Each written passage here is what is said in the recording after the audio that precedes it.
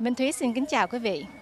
Vào lúc 3 giờ chiều, ngày thứ Bảy, mùng 4 tây tháng 6 năm 2011, quan âm phổ chiếu ni viện thuộc vùng Lanham, Maryland đã tổ chức một buổi tiệc chay văn nghệ gây quỹ xây dựng chính điện tại chùa Giác Hoàng thuộc thành phố Washington DC.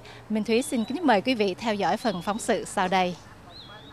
Ngày xưa chúng tôi xuất thân từ cái à, Phật học Ni viện Diều Quang ở Nha Trang. Thành khi chúng tôi qua đây là chúng tôi cũng muốn lập lại cái ni viện đó ở trên cái đất Mỹ. Nhưng mà rất Suốt 10 năm qua, mọi Phật sự của chùa đều sinh hoạt ngoài trời bởi điện Phật trong chùa quá cũ lại chật hẹp. Nên trong năm 2010, trải qua bao khó khăn, chùa đã được county cấp giấy phép để trùng tu ngôi bái đường. Thì có cái duyên lành đó, rồi có một Phật tử người ta tới người ta thấy rằng là nhỏ quá, rồi người ta đề nghị ta xin cúng dường để sửa chữa lại thành ra có cái duyên lành đó rồi là mới tổ chức để xin phân rê danh để mà làm thôi. Thì như quý vị cũng biết, à, tuy là cái ngôi chùa mình cấp không có lớn lắm so với những căn nhà đồ sộ ở bên đây nhưng mà cái chi phí lên rất cao.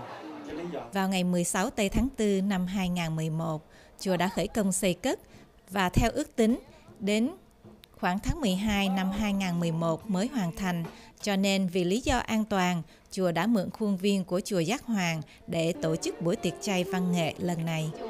Thì à, bố mẹ em cũng có giúp đỡ chùa à, để xây dựng thêm mỗi người một đóng góp chút xíu để xây dựng cho ngôi chùa Tam Bảo được à, khang trang, thịnh vượng và để giúp cho những Phật tử tới để à, cúng.